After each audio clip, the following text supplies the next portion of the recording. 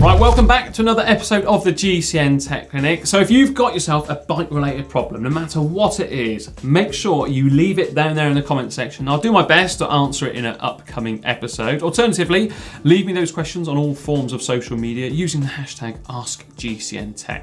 With no further ado, it's time to crack on with the first question this week. And it comes in from, in fact, I'm just going to read out your surname because I can't, definitely can't say your first name. It comes in from Woo. Hi Jon, I really like the show. I've been following your advice by washing my bike with soapy water each week. After washing my bike, I just let the bike air dry. Recently, I noticed that both my cassette and chain started to rust. Did I wash it too often, or is it because I let my bike dry in the air? Also, will soapy water contaminate the disc brake pads? Uh, right, it is good practice to wash your bike, which is absolutely great. I'm glad you're doing it. Something else you could well do, unless of course it's really hot. Uh, a lot of water droplets tend to just hang around on the bike. So get yourself an old towel, certainly not one that uh, you're going to use after you have a shower and just run the chain through that and also the sprockets too and try and wipe away as much excess water as possible. If you've got some compressed air, so an air hose, blast that in there too. That does a fantastic job of getting rid of any water particles, as does products such as, I don't know, uh, I think it's called Bike Protect from Muc-Off or some of the products from WD-40, some of the bike specific ones. You can spray that on the drivetrain afterwards and it just makes sure that water goes away and it doesn't start to give you that surface rust, which isn't that nice. As for soapy water contaminating disc brake pads, no, as long as you rinse it off with some clean water afterwards. Hopefully you're going to be rust free from now on. Next up is Samuel Lee, who says, Hi GCN Tech, I got a 10-speed Ultegra 6770 Di2 group set, and I want to upgrade it to 11-speed. Is it fine to just upgrade the rear derailleur, cassette, junction box chain, and leave the rest as it is? Some people say there is going to be a firmware compatibility issue, but others say it will work fine. So I'm just a bit confused. Right, Samuel, you're going to need the front derailleur too. The reason being an 11 speed rear derailleur and 10 speed front derailleur, they don't talk the same language in, uh, that's my technical speak really for them just not working together. They used to work at first, but once you plug in and upgrade your firmware or update it to make sure you've got you know the latest operating gears, if that makes sense, they just will not work. And it's very likely that the new rear derailleur is going to come pre-programmed to not work with an old front derailleur. So yeah, you are going to need to get both of those mechs. Right, we've got Cafe Con Leche 81 now. Uh, hello, Jon. I've been having some issues with my rear derailleur skipping. Took it to a bike shop mechanic and it came down to needing to replace it. That's always a sad day. Uh, I have a SRAM Red 22 rear derailleur, the green edition, and would like to replace it with the same green edition model, but it seems impossible to find it anywhere. Is there any way to service or rebuild the old one, or does it need to be replaced? If so, any suggestions where I can find it for a fair price? All right, this is an absolute drama really, because you've got your heart set on this limited edition green componentry, or green decals on it and it's eventually worn out and it's not going to match anything else. If you've got OCD like me, this is not a good situation. But you could probably rebuild that derailleur. Have a look on the SRAM website. They've got a whole heap of spare parts that you can look around at and probably buy every single component to rebuild it and have it working just like new. Alternatively, the um, probably more time efficient process would be to go out and buy a new one, but it's not going to match all those green components. So you could then go to a sticker or decal uh, shop and try and get them to make something that you could just put over the uh, white or red writing that could well be on that new derailleur. Alternatively, take it to someone who's going to paint it on and then they could just lacquer over the top there. But there's a few solutions or suggestions for you. Right, next up is Carl Cook who says, Hi Jon, obviously I upgraded my chain to an 11 speed KMC in gold. Good man, Carl. Uh, I also bought an ultrasonic cleaner with the intention to keep all my cassettes and chains gleaming. I'm starting to like you a lot actually, Carl. Um, with the KMC chain, do I really need a fresh quick link every time I want to remove it to clean it? Or am I missing something? Right, Carl, first up, good job that you're taking care of that bling.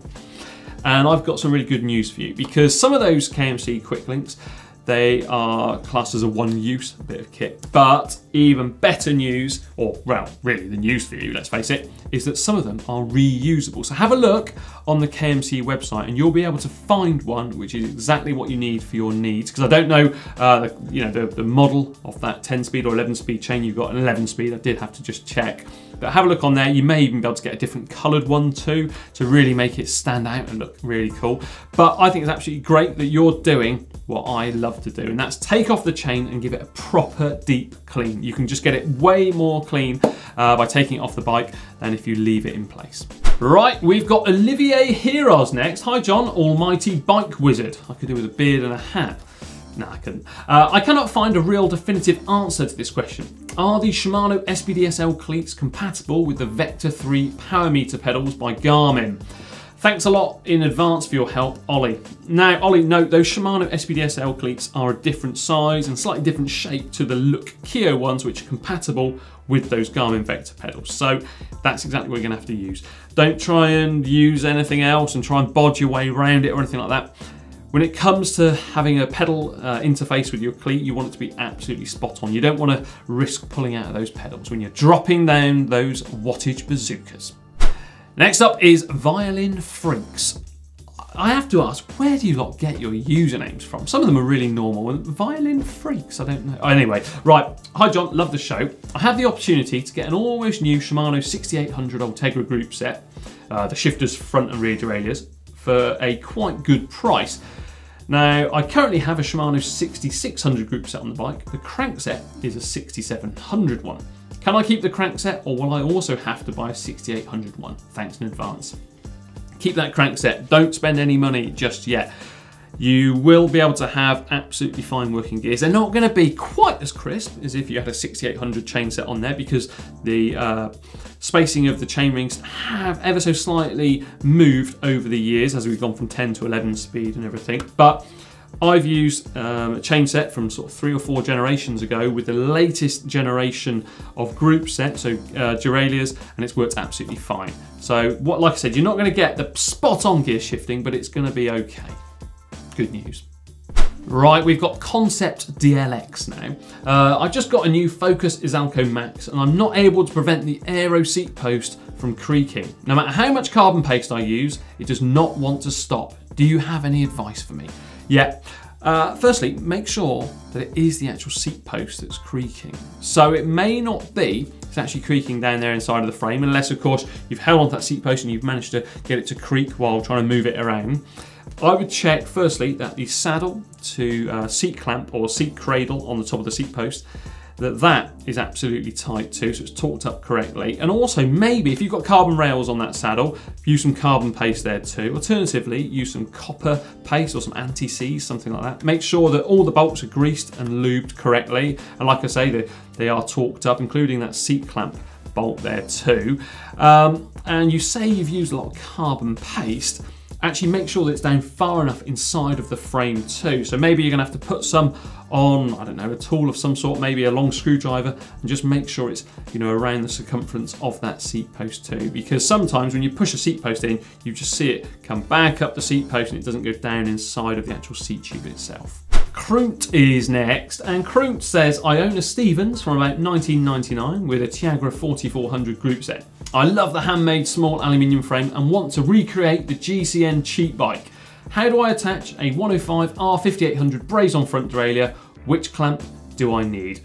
Krunt, my friends, you're going to need a braze-on adapter. So what is this exactly? Well, it's simply a clamp which goes around the outside of your seat tube, then you can bolt that braze-on front derailleur in place. As for the diameter, because they do come in different sizes, you are going to need to get yourself uh, a pair of calipers or a micrometer, something like that, and actually just measure the outside diameter of your seat tube to make sure that you get the correct mounting bracket. But it's going to be an absolute piece of cake. And I look forward actually to seeing that bike once you've done the rebuild. Now we've got George Duffy. Now that is the kind of username I like. It's simple, it's your name. Anyway, right, so George says, I ride an older uh, Specialized tarmac and find I can get quite a bit of brake rub on the rear wheel when climbing or really putting the power down. Uh, being around 85 kilo and on the stronger side, I expect a bit of flex in my wheels, but the other day when cleaning my bike, I noticed that the paint is getting worn on my frame in where the rear stays are meeting the bottom bracket. So the wheels are rubbing there too. It's made me wonder, is it the wheel or is it the frame flexing? How can I figure out what the culprit is? Right, George, it could be either that are flexing. Could be that your wheels have uh, had a bit of tension drop from the spokes, so maybe they just need tightening up a little bit to try and keep them slightly more in line. Also, is it rubbing just on one side or on both sides? If it's just on one side, sounds like possibly the wheel isn't incorrectly or the dish isn't okay. Uh, if it's on both sides, could well be you're running two wider tyres for the dropouts. Uh, sorry, for the actual chainstays uh, to accommodate. Uh, and lastly, and this isn't a good one really, it could be that you've got a small crack in your frame and it's just allowing the wheel to just flex and whip around a bit too much. But without actually seeing it, it's really hard to give a definite answer. I'll check all those things. If in doubt, then pop down to your local bike shop and see what they've got to say about it. And the last question this week comes in from iRacecraft, who says, Dear Jon, I love to read almost as much as I love to cycle. Are there any books you would recommend to make me a better bike mechanic? Oh, wow, Roger Moore, My Word is My Bond. That's a good book. It's not going to help you with your bike mechanics, but I'm a big Roger Moore fan, so I would suggest reading that. Right, as for books and becoming a better mechanic, Generally, books are great for learning the theory, but when it comes to the practical side of things, which is what we're going to be doing on our bikes, they're not that good. And with new components and new bits and pieces always being released, you're never going to be really up to date. What I did and what how I learn and how every mechanic I think I know learn is actually by tinkering around with your own bike. You make a few mistakes, you fix those mistakes, and then it's like an evolution of the whole process. Um, Something you could do actually is pop along to your local scrapyard or try and buy a cheap secondhand bike if you don't want to go and go around and like you know play on your favourite bike and then actually learn from that bike because you're not going to get too upset if you do make a mistake. Say for instance if you're going to be building wheels, that kind of thing. Right, hopefully that'll be okay for you. But there are some great manuals out there, like the Park Tool. They've got a big blue Bible, as I like to call it, and that has loads and loads of information inside of it. That could well help you. Right, I hope I've been able to help answer and solve your problem this week. If not, as ever, leave it down there in the comment section below and I'll do my very best to help answer it in an upcoming episode. And, then, well, you know what this drill is by now. Remember to like and share this video with your friends. Don't forget as well to check out the GCN shop at shop.globalcyclingnetwork.com. We've got heaps of goodies for you to check out. And now, for two great maintenance videos, how about clicking just down here and just down here.